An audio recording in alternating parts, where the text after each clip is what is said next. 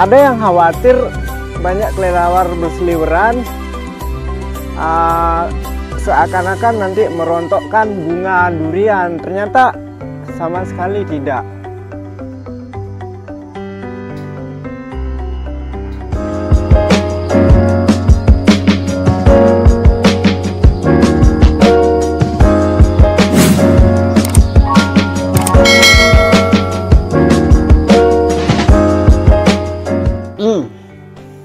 Assalamualaikum warahmatullahi wabarakatuh. Uh, Gimana kabar semuanya? Sahabat tani, keluarga tani semuanya? Salam tanah subur, petani makmur. Salam petani cerdas, petani sukses. Uh, Gimana kabar semuanya, sehat-sehat semuanya? Alhamdulillah kita bisa ketemu lagi Malam ini. Saya ingin membahas tentang haruskah bunga durian itu dikawin oleh tangan-tangan manusia? Iyakah atau tidakkah? Nanti kita bahas di kebun karena malam ini saya punya rencana khusus untuk membahas itu di kebun saya. Tetapi sebelum kita berangkat kita santai-santai dulu ngopi ini kopi arabica uh, yang sangat saya idolakan. Rasanya enak sekali. Ini tanpa gula tetapi enak sekali. Arabica apa namanya? Arabica lombok arabica uh, pejabat. Nah karena saya sendiri yang punya nah, saya uh, kelola sendiri tanam sendiri sambung sendiri sampai ngopi pun ngopi sendiri.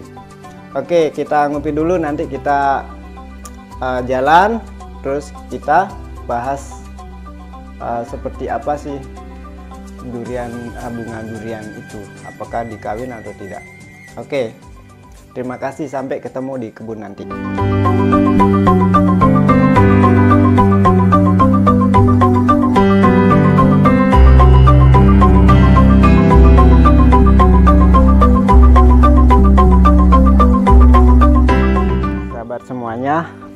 bersama Win menemani kita berangkat ke lokasi.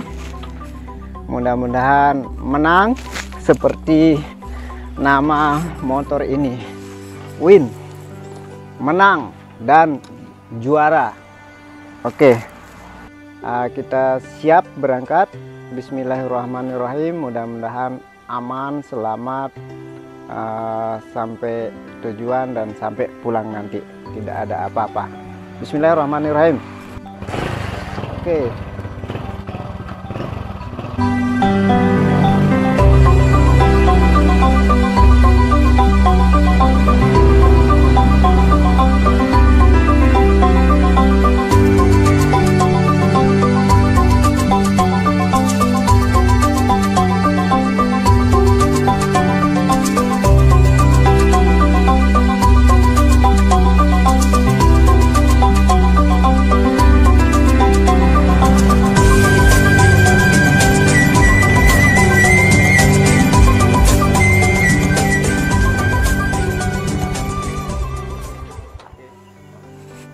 Sahabat tani semuanya. Alhamdulillah kita sasaran pertama di lokasi pertama kita sudah sampai.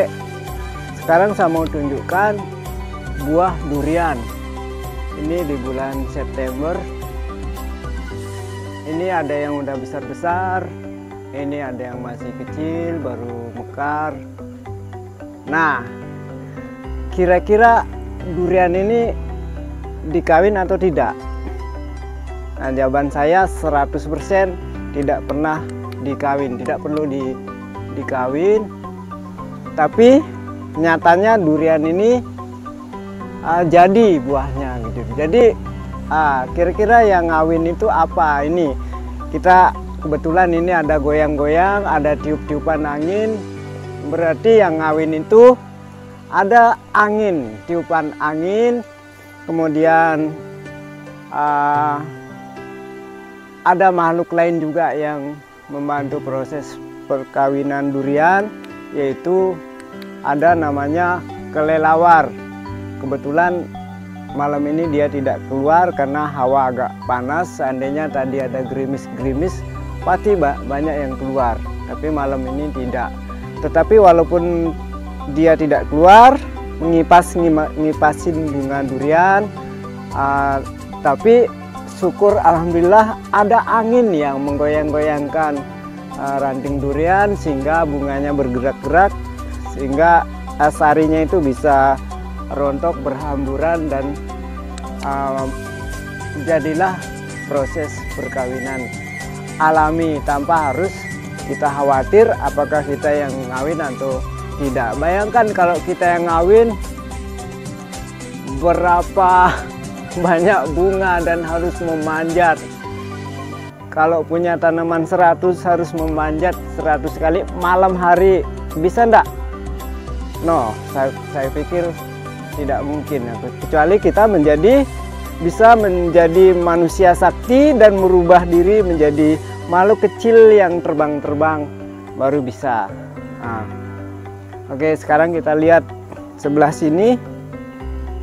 Ya, ini banyak bunga belum mekar. Ini sudah mulai mekar. Ini tanpa campur tangan kita, apakah dia bisa jadi sendiri atau tidak? Uh, maksud saya bikin ini adalah supaya bisa jadi orang yang mau memulai usaha tanam durian, kemudian ada isu kalau bunga durian itu harus dikawin, jangan sampai mereka khawatir durian itu harus dikawin, bagaimana caranya, bagaimana ngurusnya. Jadi jangan khawatir, jangan khawatir sama sekali karena Allah punya cara sendiri untuk mengawinkan bunga durian. Ada makhluk khusus yang bertugas, ada angin, gerak-gerak begini juga membantu proses perkawinan. Ya nanti kita tunggu. Oke, sementara di sini sampai di sini dulu sini. Sekarang kita lanjut ke lokasi yang berikutnya. Ah, sampai jumpa di sana situasinya seperti apa. Oke, kita jalan.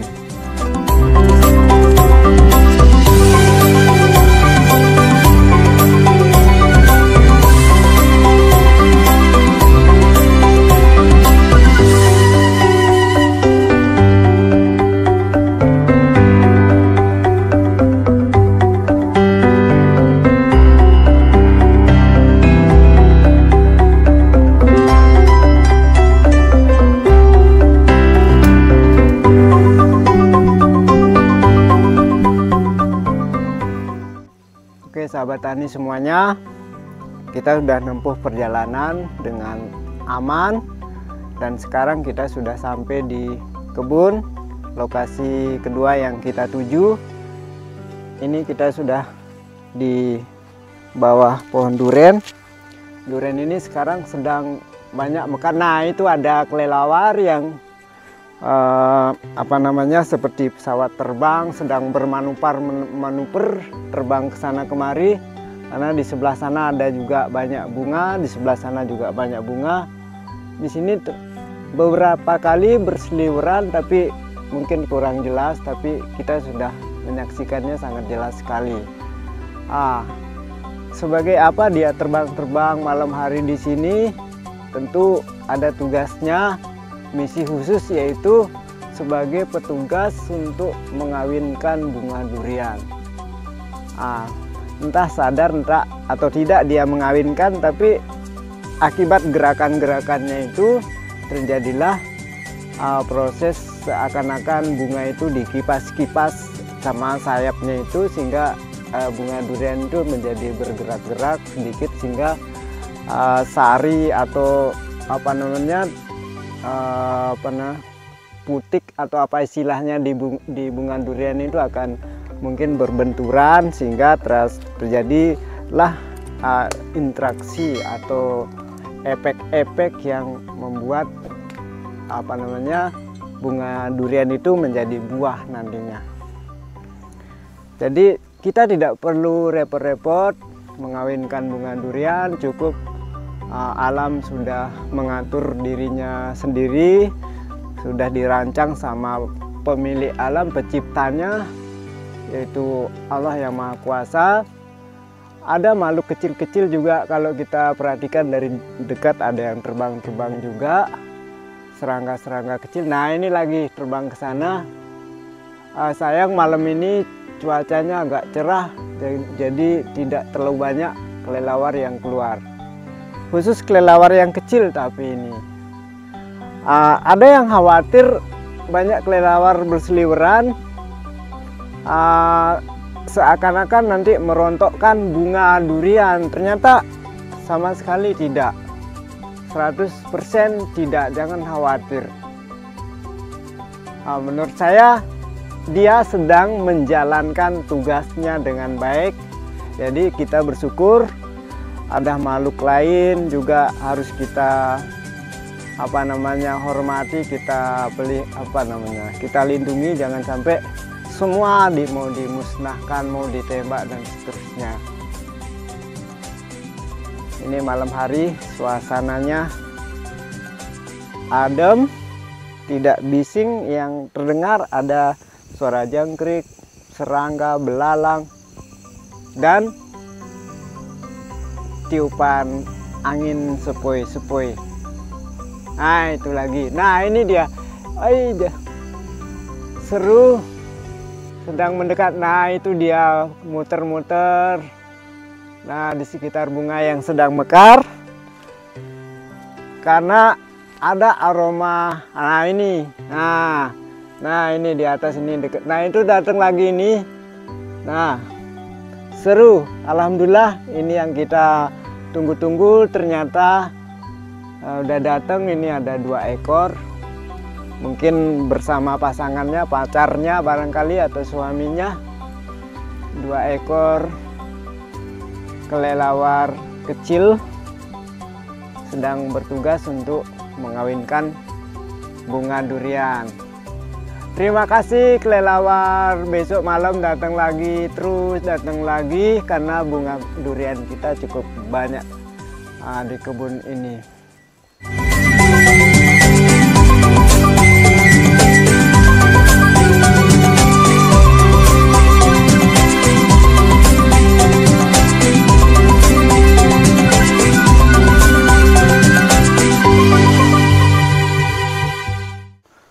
Sahabat tani semuanya berdasarkan berdasarkan hasil penelusuran malam ini uh, saya bisa menyampaikan informasi atau kesimpulan bahwa pertama apakah durian itu harus dikawin bunganya atau tidak? Ternyata jawabannya bisa iya bisa tidak. Ya kan? Kalau kita tidak karena sudah ada petugas yang mengawinkan bunga durian itu yaitu yang kita lihat tadi terbang-terbang itu kelelawar. Terus kalaupun kita iya juga tambah bagus juga karena kita kerjasama dengan makhluk itu jadi saling membantu. Nah, di samping kita juga ingin repres ingin membuktikan apa jari manis kita itu uh, bisa uh, menghasilkan bunga sampai berbuah yang bagus atau tidak. Uh, kemudian kenapa tidak? Jadi tadi kita temukan kelelawar yang kita saksikan juga angin, jadi menggoyang-goyangkan ranting durian. Tentu bunga juga sedikit bergerak. Nah gerakan itulah yang membuat sari-sari itu mungkin berhamburan sehingga antara satu dengan lainnya itu ketemu. Jadi kalau uh, dua hal tidak ketemu ya susah ibarat manusia kalau laki doang tidak ada ketemu perempuan jadi tidak bisa generasi selanjutnya. Terus yang kita saksikan berikutnya adalah ada makhluk-makhluk kecil juga yang terbang-terbang entah serangga apa namanya pokoknya ada yang yang terbang-terbang mengitari bunga-bunga itu uh, tentu mungkin karena aroma harumnya itu juga mengundang mereka datang dan bergerak-gerak di sekitar itu sehingga tanpa harus dikawin durian itu bunga durian itu sekali lagi bisa menjadi buah. Seandainya harus dikawin saya sendiri tidak sanggup bertani durian karena harus memanjat tinggi-tinggi dan harus mengurus sedemikian banyak bunga. Jadi buah ampun. Tapi nah sekarang kita udah ketemu jawabannya. Uh, Alhamdulillah Tuhan menciptakan semuanya itu uh, tidak ada yang sia-sia. Nyamuk diciptakan ternyata menciptakan ekonomi yang bergulir karena ada nyamuk, ada yang jual obat nyamuk, dapat rezeki kan. Jadi semua diciptakan ada manfaatnya. Wow, alhamdulillah. Mudah-mudahan uh, kita terus menemukan hal-hal baru yang bisa kita sampaikan kepada para petani semuanya. Mudah-mudahan bermanfaat. Uh, kalau ini bermanfaat, dukung terus, subscribe channel Jabat Menjulu, uh, like, komen, dan bagi-bagi. Ya karena harus berjamaah baru oh, namanya sukses gitu. Nah, terima kasih. Sekarang kita kembali lagi ke rumah. Uh, sudah tuntas tugas malam ini.